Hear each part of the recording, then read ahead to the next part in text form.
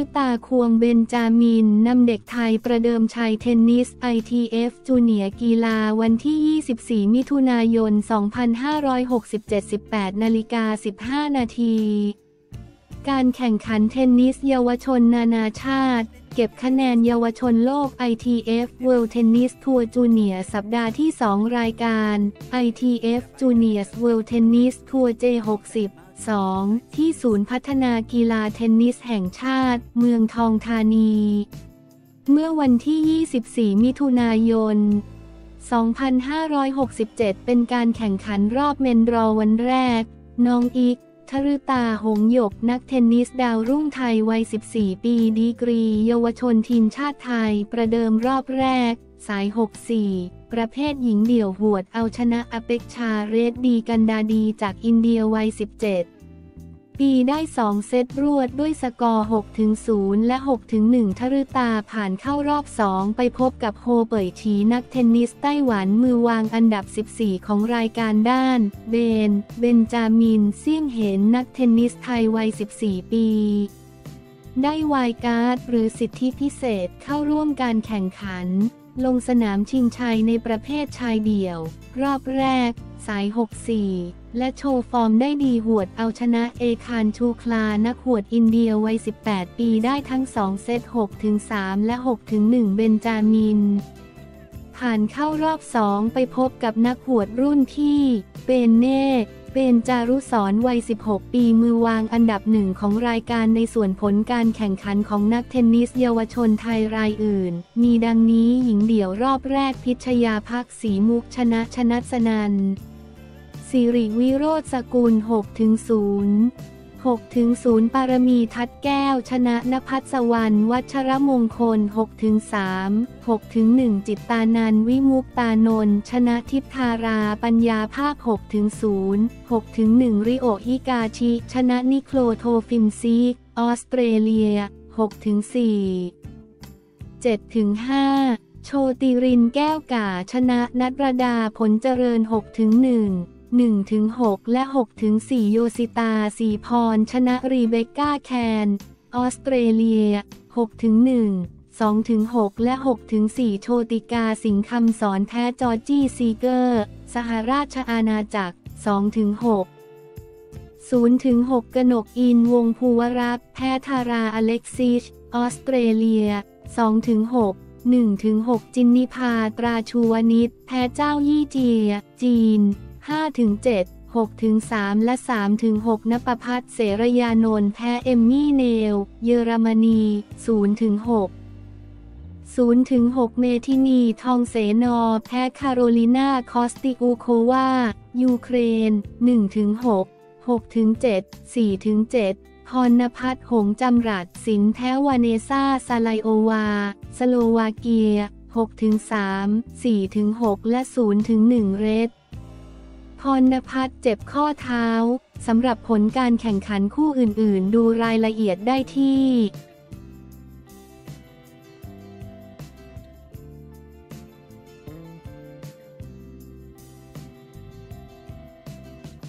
ธรรมนัตพบนายกรัฐมนตรีขอบคุณไม่ปรับพ้นรัฐบาล ยันพอปอชร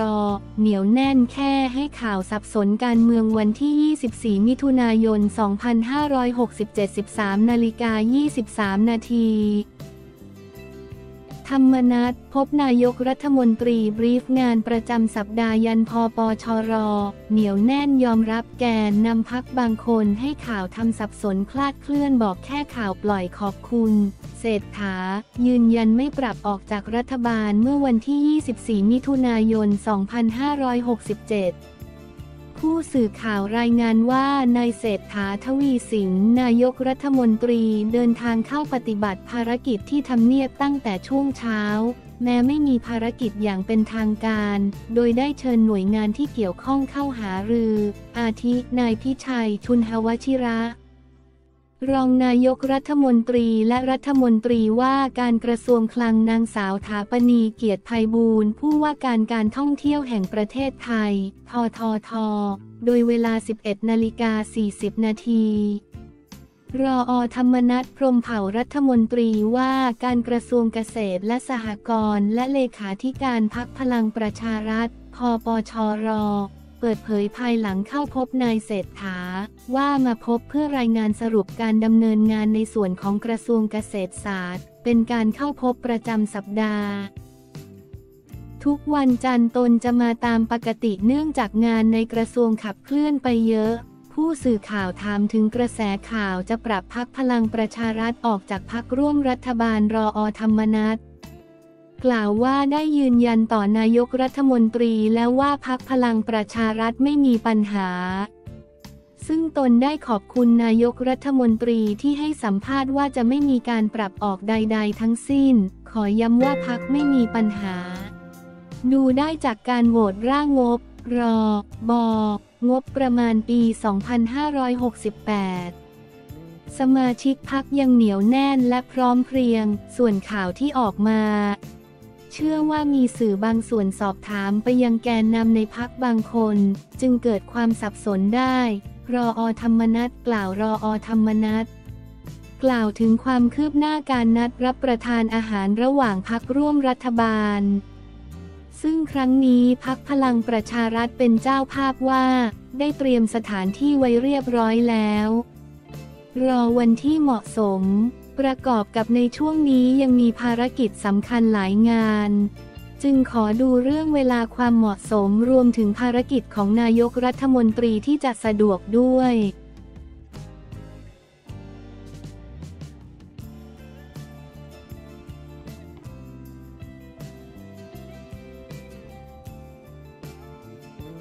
เทควันโดมั่นใจมีเหรียญโอลิมปิกติดมือจักรยานลุ้น จ่าย ทำเซอร์ไพรส์ประเภทลูกกีฬาวันที่ 24 มิถุนายน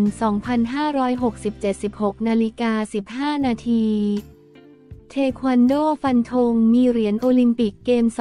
2024 ติดมืออย่างแน่นอน ด้านสมาคมกีฬาจักรยานหวังจ่าย ทีเจอังสุธา สาวิตเซอร์สร้างไพรส์ประเภทลูกปารีสเกม เมื่อวันที่ 26 มิถุนายน ที่ห้องประชุม 222 ราชมังคลากีฬาสถานการกีฬาแห่งประเทศไทย กกท ดรก้องสรรกฎยอดมณีผู้ว่าการการกีฬาแห่งประเทศไทย กกท เป็นประธานแถลงข่าว Meet the Press กีฬาโอลิมปิกเกม 2024 พื่อประเมินความหวังของนักกีฬาไทยในศึกปารีส 2024 ที่จะมีขึ้นระหว่างวันที่ 26 กรกฎาคม วันที่ 11 สิงหาคม ที่กรุงปารีสประเทศฝรั่งเศส โดยมีนายภัยทูลชุติมากรกุลนายกสมาคมนักข่าวช่างภาพกีฬาแห่งประเทศไทย และนายสิริสารผลอุปนายกสมาคมนักข่าวช่างภาพกีฬาแห่งประเทศไทย พร้อมด้วยผู้แทนจากสี่สมาคมกีฬา ร่วมถแถลงความพร้อมนายภัยทูลเผยว่าที่ผ่านมาสมาคมนักข่าวช่างภาพกีฬาแห่งประเทศไทย จัดกิจกรรม Meet the Press เพื่อสอบถามถึงปัญหาและประเมินความพร้อมของทัพนักกีฬาไทย ก่อนเข้าร่วมมหกรรมกีฬารายการต่างๆ มาโดยตลอด และครั้งนี้ qualify เข้าไปโอลิมปิกเกม แล้ว 45 คนใน 13 ประเภทกีฬาด้านด็อกเตอร์ก้องศักดเผยว่ากกทได้ส่งทีมงานเดินทางไปสำรวจสนามแข่ง สถานที่พักมาที่กรุงปารีสมาแล้วและที่ผ่านมาทำงานและประสานกับสมาคมกีฬาต่างๆ รวมถึงคณะกรรมการโอลิมปิกแห่งประเทศไทยอย่างต่อเนื่อง คราวนี้กกทพร้อมจัดเต็มนักวิทยาศาสตร์กีฬา นักจิตวิทยากีฬา และนักโภชนาการกีฬาเพื่อให้การดูแลนักกีฬา รวมถึงยังเตรียมตั้ง Thai House และรถ mobile unit เพื่อดูแลสภาพร่างกายของนักกีฬาถึงสนามแข่งและสถานที่พัก ทั้งนี้เพื่อให้นักกีฬาไทยพร้อมที่สุดสำหรับโอลิมปิกเกม 2024 ผู้ช่วยศาสตราจารย์พิมลศรีวิกร นายกสมาคมกีฬาเทควันโดแห่งประเทศไทย เผยว่าโอลิมปิกเกมรอบนี้เรามีนักกีฬาไป 3 คน คือพานิพักวงพัฒนกิจรุ่น 49 กิโลกรัม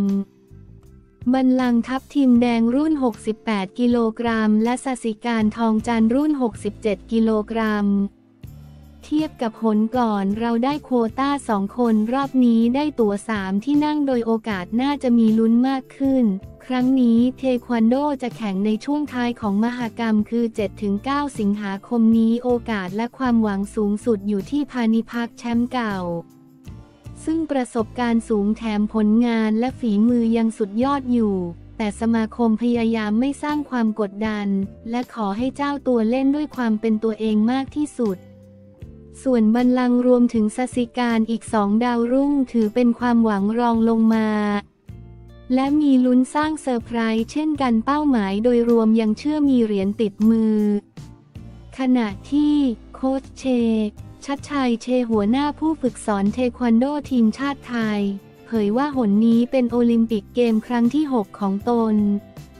อย่างไรก็ตามกีฬาโอลิมปิกไม่เหมือนรายการอื่น ๆ แมตช์นี้กดดันมากนักกีฬาทุกคนอยากได้เหรียญสำหรับ 3 นักกีฬาตอนนี้ทุกคนสมบูรณ์ไม่มีใครเจ็บพานิพักยังเป็นความหวังสูงสุด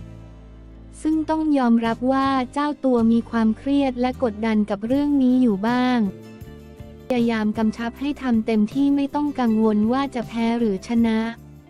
ส่วนอีกสองคนฝีมือทั้งคู่สู้ได้หมด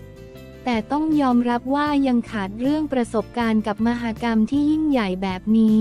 ด้านนัทพงษ์โลหิต นาวี ฝ่ายเทคนิค สมาคมกีฬาจักรยานแห่งประเทศไทย เผยว่า ครั้งนี้นับเป็นครั้งที่ 5 ที่กีฬาจักรยานไทยได้ไปโอลิมปิก ซึ่งถือว่ามากสุดด้วย เพราะได้มาถึง 5 ที่นั่งโดยประเภทโรดเรส 3 คน เราจะส่งเพชรดารินสมราช ชนิพรบัตรปริยะ และธนาคารชัยยาสมบัติ ซึ่งหนนี้ทางค่อนข้างโหด ดังนั้นทั้งสองอีเวนต์ชายและหญิงวางเป้าว่าจะต้องแข่งให้จบ และต้องทำผลงานให้ดีกว่าชาติในเอเชียด้วยกัน ส่วน BMX ชายคือโกเมส สุขประเสริฐแชมป์เอเชีย 3 สมัยตั้งเป้าอย่างน้อยสุดเข้ารอบ 2 และใจอังสุธาสาวิทซึ่งฟิตซ้อมอย่างต่อเนื่องที่สวิตเซอร์แลนด์สมาคมหวังและแอบลุ้นทำผลงานดีในประเภทลู่ นายสกลวรรณพงศ์รักษาการนายกสมาคมกีฬายิงปืนแห่งประเทศไทย เผยว่ายิงปืนรอบนี้ qualify ไปรอบสุดท้ายได้ 3 คน ธัญญา ธัญกรพฤกษากรปืนสั้น 25 เมตร ซึ่งเป็นตัวเก่า ส่วนอีกสองคนเป็นดาวรุ่งคือทองพาภูมิวงสุขดีปืนยาวสามท่ากับกมลลักษ์แสนชาปืนสั้นอัดลม 10 เมตรที่ผ่านมาสมาคมส่งนักกีฬาแข่งและซ้อมอย่างเข้มข้น ในเบื้องต้นความหวังของทีมขอมองไปที่รอบ 8 คนสุดท้าย ขณะที่นกรกมลสิริ กรรมการบริหารสมาคมกีฬาขี่ม้าแห่งประเทศไทย และอดีตนักกีฬาขี่ม้าเหรียญทองเอเชียนเกม ครั้งที่ 13 เผยว่าขี่ม้าได้โคต้าหนึ่งที่นั่งจากปรีอัน ชนกกพรการุญยทัศน์ในประเภทกระโดดข้ามเครื่องขีดขวางบุคคล โดยจะแข่ง 1-4 สิงหาคมนี้ที่พระราชวังแวร์ซายน์สำหรับปรีอัน นั้น ซ้อมและทำการแข่งมาอย่างต่อเนื่อง ซึ่งในเอเชียนเกมที่จีนทำผลงานได้ดีมาก เป็นผู้หญิงคนเดียวที่เข้ารอบ final ก่อนจบที่ 4 หนนี้โอกาสคว้าเหรียญอาจจะยากเป้าหมาย จึงอยู่ที่การทำผลงานให้ดีที่สุด สรุป Meet the Press กีฬาโอลิมปิกเกม 2024 ทั้ง 4 สมาคมกีฬาตั้งเป้าหมายดังนี้ กีฬาเทควันโดตั้งเป้ามีเหรียญรางวัล กีฬาจักรยานขอทำผลงานให้ดีที่สุด กีฬาขี่ม้าขอทำผลงานให้ดีที่สุด และกีฬายิงปืนขอเข้ารอบ final หรือติดหนึ่งใน 8 สำหรับงาน Meet the Press กีฬาโอลิมปิกเกมครั้งที่ 33 หนต่อไป ซึ่งจะจัดเป็นรอบที่2จะมีขึ้นวันที่ 26 มิถุนายนนี้ที่ห้องประชุม 222 ราชมังคลากีฬาสถาน โดยมีอีก 4 สมาคมกีฬาเข้าร่วมแถลงความพร้อม ประกอบด้วยแบดมินตัน ยกน้ำหนัก ปัญจกีฬาและเรือพาย